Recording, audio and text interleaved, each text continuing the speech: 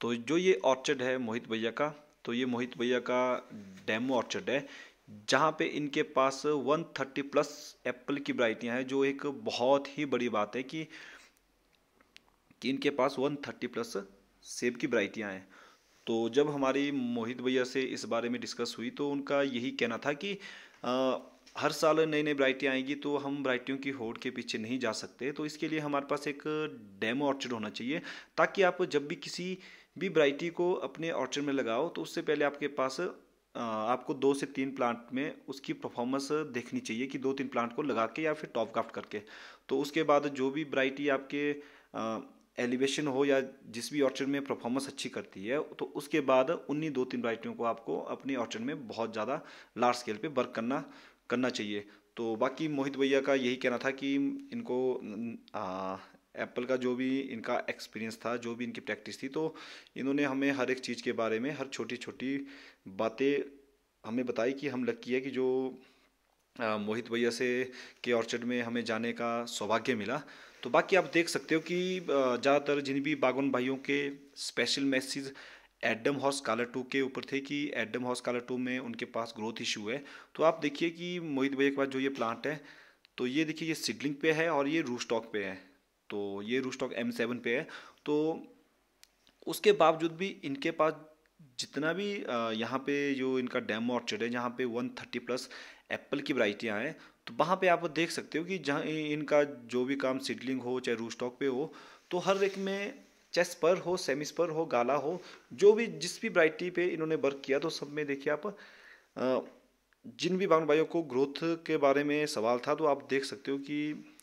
इनके पास एडम हो चाहे स्कालर टू है, उसकी ग्रोथ बहुत ज़्यादा अच्छी है। और जो सबसे बड़ी बात है जैसे काफ़ी बागन वायु के हमारे पास क्वेश्चन काफ़ी एक दो सालों से काफ़ी क्वेश्चन थे कि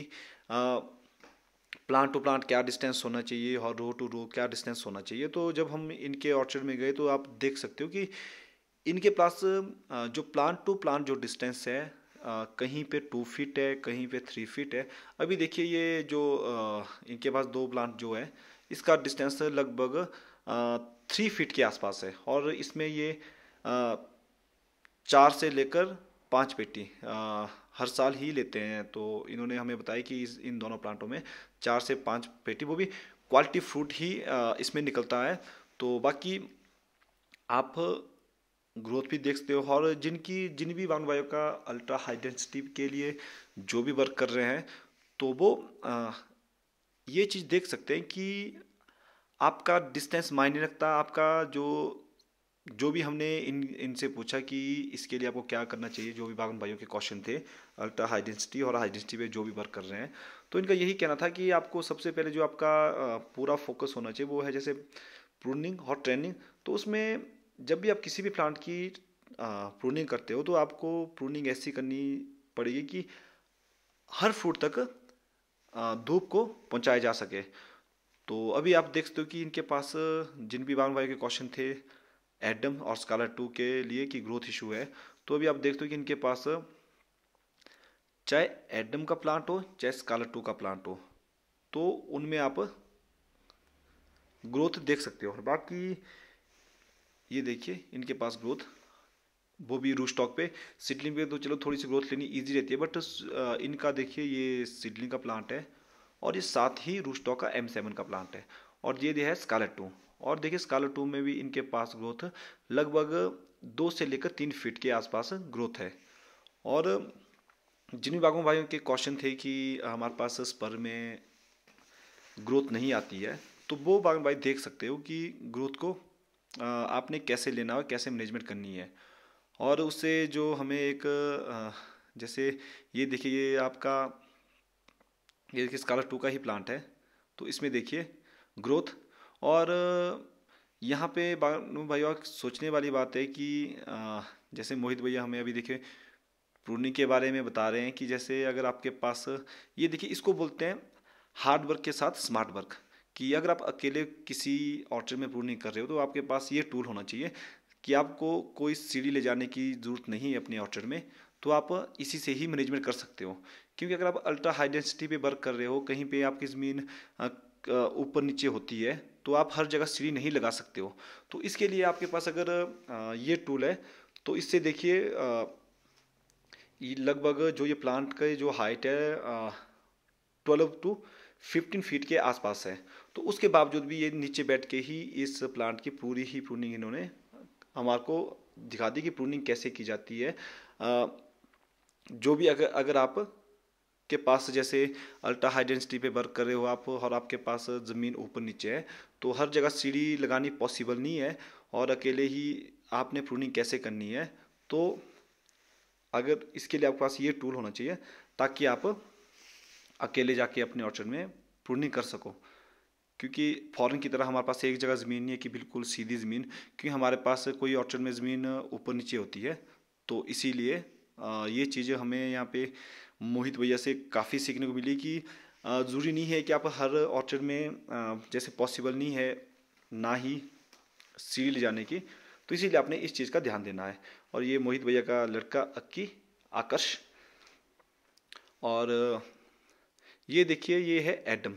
एडम्स पर तो जिन भी बावन भाइयों के क्वेश्चन थे कि एडम्स पर की ग्रोथ नहीं है, हमने तो चलो खैर मैक्सिमम प्लांट टॉप ग्राफ्ट किए हुए हैं। तो अभी आप देख सकते हो कि रूस स्टॉक पे